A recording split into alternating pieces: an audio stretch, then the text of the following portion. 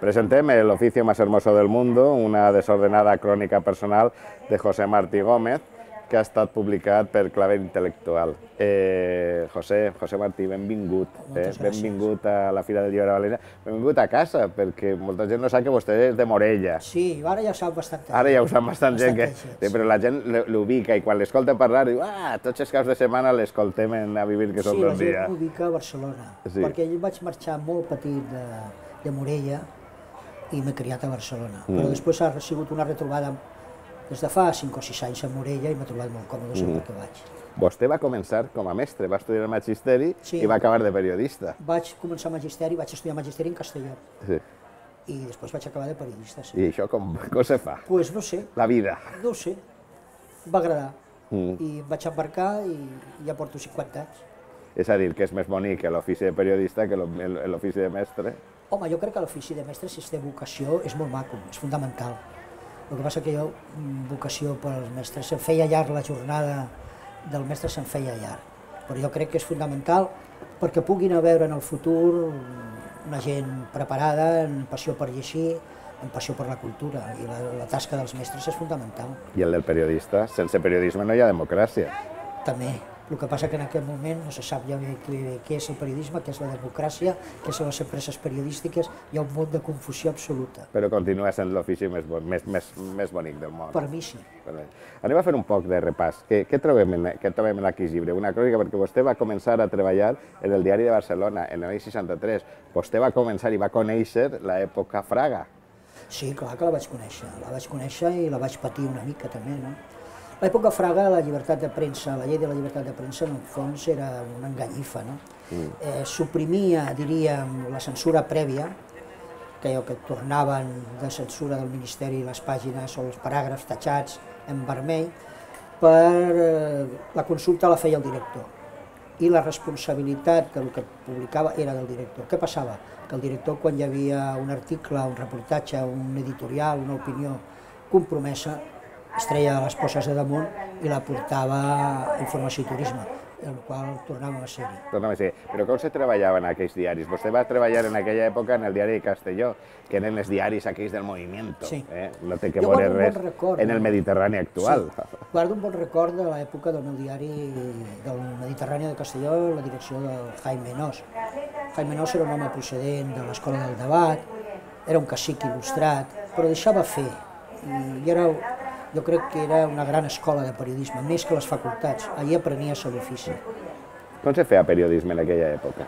Pues jo crec que es feia periodisme a l'època aquesta dels anys 60, a meitat dels anys 60 cap endavant, les redaccions eren molt vives, perquè tu feies la teva feina, però al costat hi havia una estona de taules de periodistes que comentaven la jugada i s'intercanviaven opinions i t'enriquies a les opinions de la taula del costat. De la meva taula del costat del correu estava la taula dels economistes, que la dirigia l'Ernest Lluc, que eren uns tafaners tremendos. Mm -hmm. Tot això t'enriquia. Mm -hmm. Ara les redaccions estan mortes, eh, sembla que eren les oficines del catastro.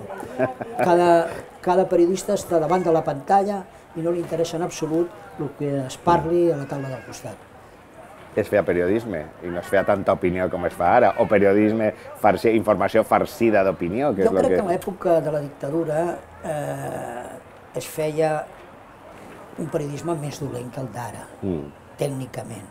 El que passa que hi havia més vivacitat de les redaccions i dintre del que es podia escriure eh, la gent sobretot arriscava més. Ara la gent no arrisca, ara els diaris entre altres coses perquè els diaris l'arribada de les noves tecnologies a les empreses els ha agafat en calçotets. I ara ja no saben què fer, si diari imprès, si diari digital. Jo crec que el futur no està gens clar, perquè penso que el futur sí, els diaris de paper estaran limitats, potser els caps de setmana, els grans diaris, però el diari digital en aquest moment encara és un diari confós, hi ha molts eh, les opinions i les informacions són pobres perquè el, perquè, el diner dels anuncis continua anant al paper. Clar, perquè el pastís continua estant en, el, en la publicitat. Clar. I, això és el que tenim d'esta manera. Eh, avui en dia se parlen de molts eh, escàndols, però també en aquella època dels seus començaments com a periodista d'aquells anys eh, franquistes, també hi havia escàndals, com per exemple, que vostè l'anomena en el llibre, el cas Fico, que avui en dia el tenim oblidat. És comparable a lo que tenim ara en l'actualitat? No, jo crec que en aquells casos eren casos molt concrets. Està Sofico, molt anterior està Matessa, Matessa. molt anterior encara està l'oli de Redondela, Mm. i, però eren casos molt concrets. Ara la corrupció ja és generalitzada. Ara el que s'estranya és que aixequis alguna cosa i no hi hagi tufo de corrupció sota. No? Des d'esta època també vostè dedica una sèrie de planes a un personatge, eh, com és Dionisio Ridruejo. Eh, quina importància va tindre en la història, la història jo crec recent que nostra la Ridruejo història té una importància vital en el sentit de que va ser un home que procedent de la falange ortodoxa, en un moment donat es dona compte de que, de que això no va a cap lloc i evoluciona.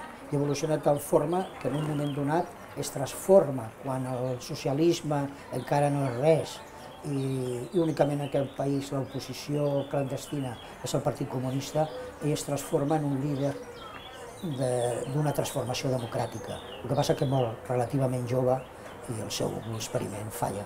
Mm. Continuem en aquesta cronologia dins de les seues, eh, la seva crònica personal desordenada i del Correu Català arribem a un setmanari eh, va ser molt important en la història d'aquest país com va ser el Por Favor. El Què va Favor- suposar Por Favor en, en el periodisme d'aquí Por favor és un projecte que està dividit en dos, és bicèfal. La part gràfica la porta el Peric i la part literària la porta el Manolo Vázquez Montalbán. Jo crec que va ser un setmanari fundamental perquè no era molt més que un setmanari d'humor, era un setmanari crític i molt fort. I el setmanari aportava la novetat d'unes entrevistes que el mèrit, la fèiem el Ramonet i jo, però el mèrit, indiscutiblement, era del Manolo, perquè arriscava al punt màxim. Prova d'això és que si tu agafes un llibre que es van editar les entrevistes, aquelles notes, que un 50% van ser o censurades íntegrament Varen segrestar o edicions. secostrades. Era un setmanari que jo va haver-hi una gestió que em van demanar, com jo feia judicials, diu, hòstia, Manolo, tu que conoces abogados, habla, habla a ver si el, el juez de premsa i imprenta. Vaig convocar un dinar a través d'un abocat amic que van estar dinant en el jutge i el jutge va estar implacable, no? dient, això és un semanari nefasto, rastrero, va dir de tot. Y al final de la conversa, que va ser un fracàs, al despedirse, diu, ¿y ahora qué te vas? ¿A ese semanario asqueroso? Digo, sí, me voy. Dice, y en vez de irse ahí, ¿por qué no te vienes de putas? Que te invito yo. O sigui que era, era també, el règim anava així. Vostè ha estat en un seminari com el Por Favor, i ara ho acaba de comentar. Què sent quan par passen coses com el Charlie Hebdo? Com el? Com el Charlie? Home, Eh, però- sento una profunda tristesa, clar. Nosaltres no vam passar de, dels seqüestraments, les multes, però hi ha un antecedent que, que ja s'ha oblidat molt, que és el semanari al Papus. Papus va tenir un atemptat que va costar la mort del Sí. conserge. O sigui que aquí també no va ser la massacre del Charlie Hebdo, però va haver-hi un atemptat. Per què sé tanta por a la sàtira? La sàtira, jo crec que és fundamental. Però per què sé tanta por? Home, perquè la sàtira va a la fons de, de, del poder. I el poder, la sàtira, la tolera malament. Els polítics tots, tots diuen que l'humor és necessari i l'humor va bien, però quan els Però toca després no les agrada. No, no. La princesa Diana, quan jo estava a Londres, vaig fer un llibre sobre ella, eh, contaven que la princesa era una fan dels pitimatges, els ninos, aquells, fins que va ser princesa. Quan va ser princesa, els ninos ja no li agradaven gens. M'agradava més la premsa rosa, més blanca... I, I del Por Favor arriba al país, eh? i arriba la transició. Sí, Què jo arribo podem al país fer? com col·laborador. La transició jo crec que és, periodísticament per mi, l'època més maca que he viscut. Era, recordava els anys de l'anarquia, per dir-ho d'alguna manera. Hi havia anarquia al carrer, hi havia anarquia a la classe política.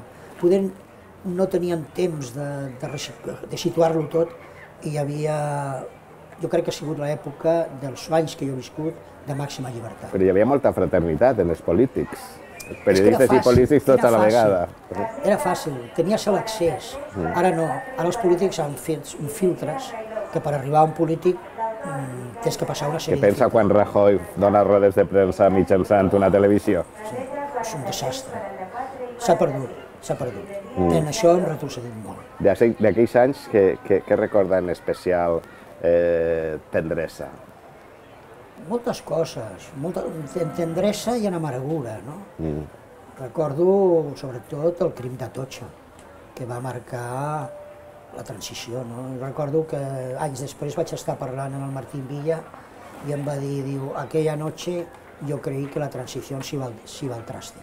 Què penseu quan veu ara Manuela Carmena que ha tornat a primera línia? Bueno, la Manuela Carmena, jo ja escrivia fa 50 anys de la Manuela Carmena, quan era la jutge de la plaça de Castilla, mm. que va acabar en l'estilla, que es deia, que eren els xanxullos que es feien en els juzgats. Mm. Jo tinc un afecte entranyable per Manuela Carmena, als 71 anys el que està fent té un mèrit tremendo, perquè és una àvia que tindria que estar super retirada, i en canvi està barallant-se amb gent jove, que la tracten com una àvia i consideren que és poc radical i jo crec que ella és una dona sensata amb molta experiència, que sap que la radicalitat aquesta extrema el país tampoc la vol. Mm -hmm. eh, planes i planes, eh, vivències, memòries...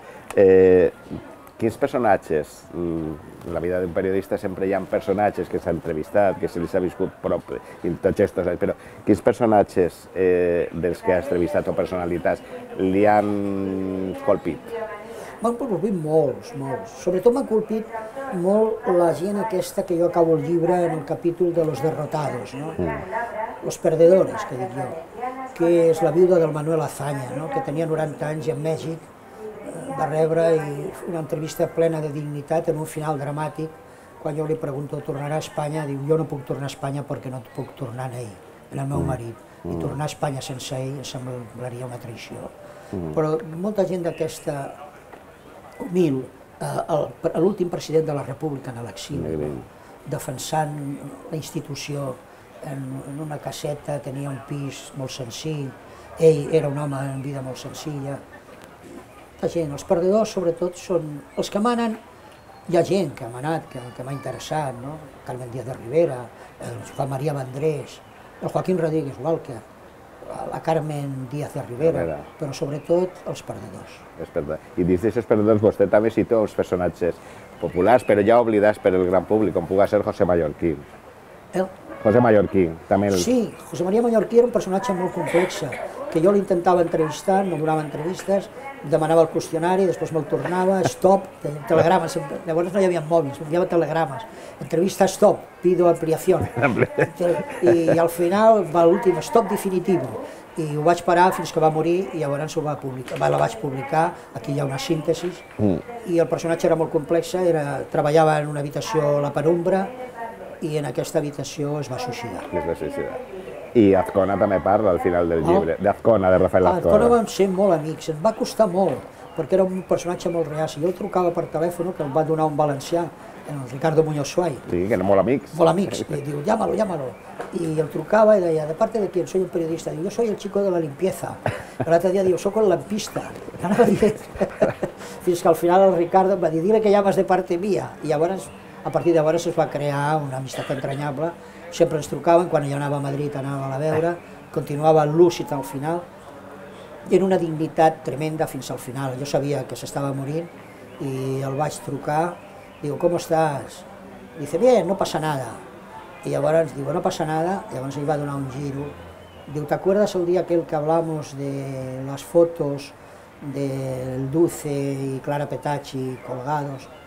Dice, y el libro de Indro Montanelli comentaba que Franco había mirado atentamente las fotos y el comentario que hizo fue, los han atado mal.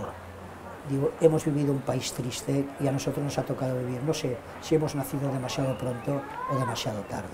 Fins que en la transició parla vostè d'aquesta importància, d'aquest moment tan feliç que va ser per al periodisme la transició, però ara se parla d'una segona transició, però mm, què passa en la premsa? Què passa quan un polític malparla públicament d'un periodista? No malparla de que mm, mateix dia s'acomiaden a 200 eh, periodistes d'una redacció o eh, se despedisca a un periodista per haver exercit la seva professió, que és traure la veritat. Jo crec que els polítics, per una banda, eh, inclús els polítics dels, dels nous polítics, estan agafant els tics dels vells polítics. O sigui això, quan un periodista el critica, el periodista està al servei de la part contrària. Jo crec que això tindríem que corregir-ho, perquè si no és el mateix vici. En quant a les empreses periodístiques, en aquest moment jo crec que són, estan vivint una crisi tremenda per la seva incompetència absoluta i estan ja pràcticament en mans dels bancs, el 90% d'elles. I en quant als periodistes que la mateixa empresa despedeix perquè han criticat a un president de l'empresa, jo crec que el president d'aquesta empresa comès un greu error. Mm. Però malgrat i tot, l'ofici de periodista continua sent l'ofici més vell del món. Per mi sí, per les joves generacions no ho sé. Jo el que crec i que confio molt en les joves generacions. Jo crec que hi haurà un nou periodisme com hi haurà una nova política, però les dues coses poder trigaran una mica i encara no han madurat. José Martí Gómez, ha estat un plaer conversar amb vostè, presentar aquest fantàstic llibre, El oficio más hermoso del mundo, una desordenada crònica personal, però sobretot eh, parlar, de, parlar de periodisme i s'escolten tots els matins, eh, tots els caps de setmana. Ja li diré al Javier. Sí, sí, sí, sí. Un plaer i molt d'èxit en el llibre i molts anys de ràdio i visca el periodisme. Visca el periodisme sobretot i visca la bona política. Mm.